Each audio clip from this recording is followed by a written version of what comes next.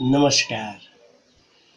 कविता कारवां का जो देशव्यापी अभियान आदरणीय सुभाष रावत जी द्वारा प्रारंभ किया गया था, इस अभियान के लिए उनको बहुत बहुत साधुवाद। आज मैं महाकवि तुलसीदास जी के कवितावली के बालकांड की कुछ पद प्रस्तुत कर रहा हूँ। उसमें राम जी के बाल सौंदर्य की, बाल छवियाँ, महाकवि तुलसीदास जी ने अद्भुत रूप से वर्णित किए हैं।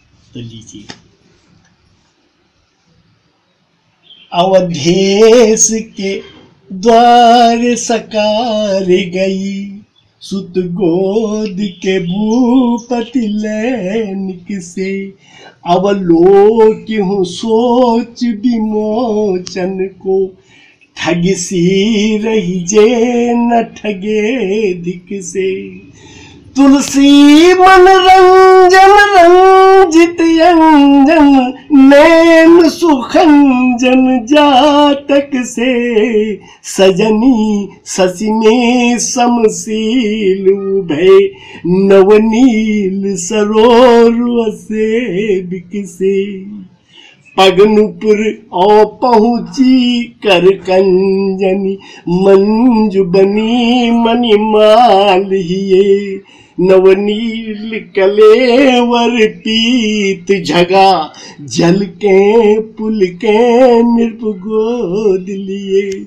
अरविंद सोनन रूप मरंदु, आनंदित लोचन भृंग पिए। मनमोन बस्यो अस बालक जो तुलसी जग में फल कौन जिए।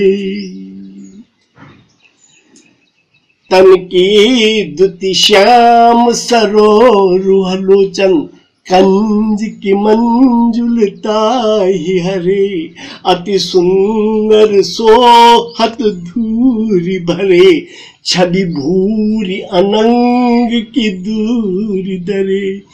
दम के दतिया दुत दामिनी जो किल के कलवाल विनोद करे। अवधेश के बालक चार सदा, तुलसी मन मंदिर में बिहरे।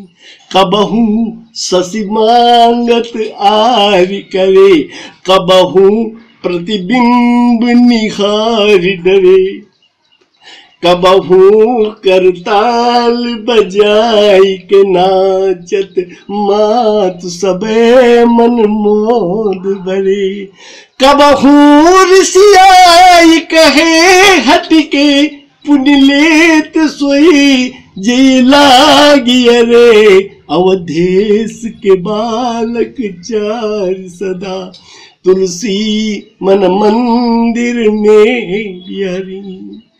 बरदंत की पंगत कुंद कली, अधराधर पल्लव खोलन की, चपला चमके घन बीच जगे, छवि मोती निमाल अमोलन की।